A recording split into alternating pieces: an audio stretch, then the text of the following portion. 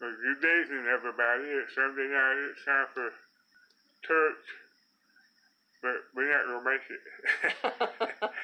but you know how we start this.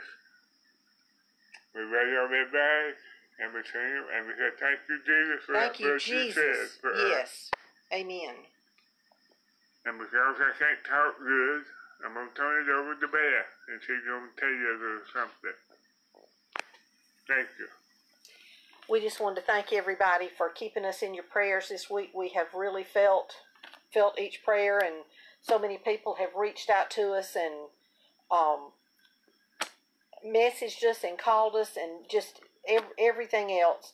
And we just appreciate it more than we can ever say thank you. Just seems like such a weak thing to say, but we appreciate it so much. And I've got two verses I want to read y'all, and I'm gonna cry, so I might as well go ahead and get it over with, and then we can tell y'all good night. Some of my favorite verses: Jeremiah 32, 17 and 27.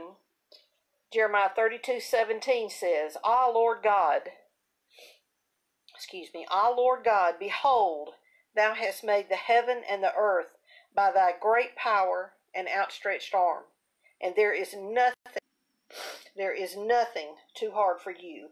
And then verse 27 says, Behold, I am the Lord, the God of all flesh. Is there anything too hard for me? And we just want to say again, thank y'all. Randy don't think he looks too good. They took his beard off, but they saved it for us in a bag. Uh, it's already trying to grow in a little bit. He is doing great. He is doing great. Um, way better than what we would have expected for this soon after surgery, just two days.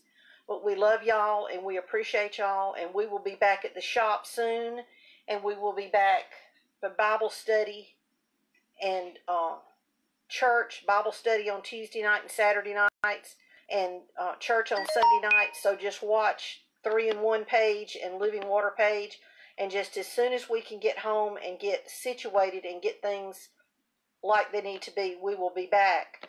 We love y'all and thank y'all. Thank you, and we do love you. Thank you for your prayers.